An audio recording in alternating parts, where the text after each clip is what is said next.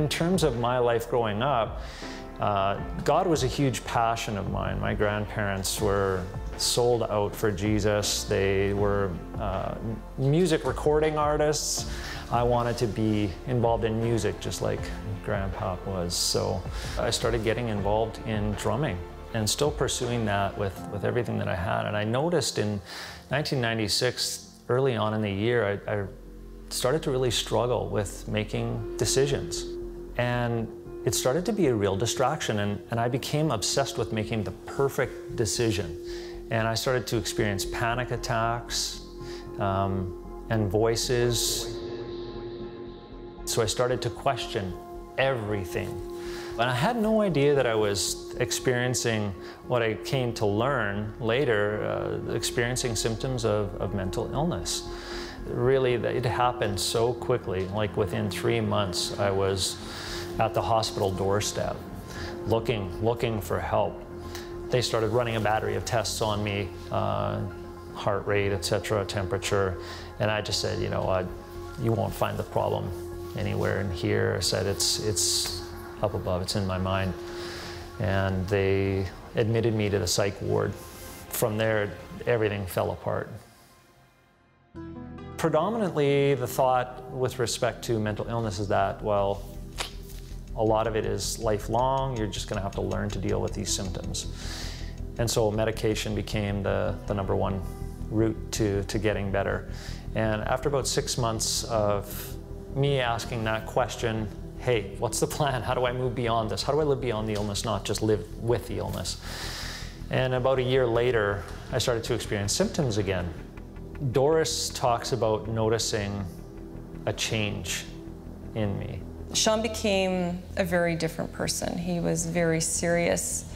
Um, he would talk about racing thoughts in his head, like he was hearing swear words in his head. I didn't really understand what that meant.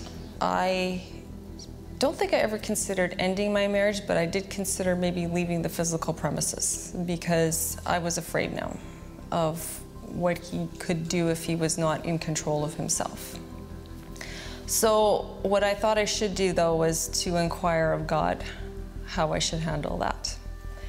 I became acquainted with Kenneth Copeland Ministries and I started watching their broadcasts on, and of course they teach on faith, they teach on healing, they teach on prosperity, they teach on the authority of the believer. So I was just getting fed. So Sean and I actually both started listening to um, Dr. Colbert whenever he's being interviewed by Kenneth Copeland on the broadcast.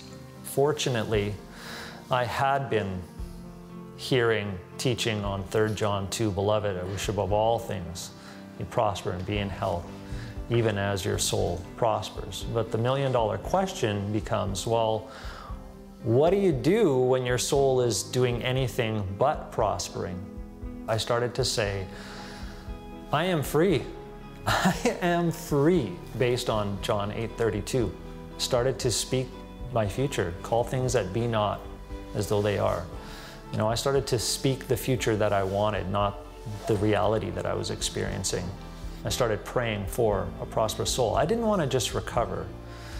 Um, I wanted a prosperous mind to think well.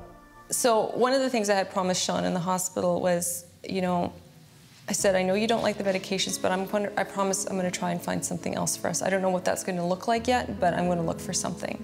Dr. Colbert was once again on Kenneth Copeland Ministries, and he was promoting two books, Toxic Relief and Stressless at the time. And so Sean and I had decided we would go to the bookstore and purchase these two books.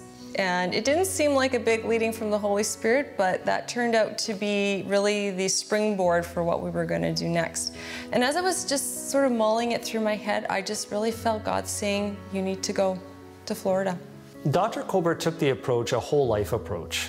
We, we addressed spiritual issues, we addressed uh, exercise, so put me on an exercise program.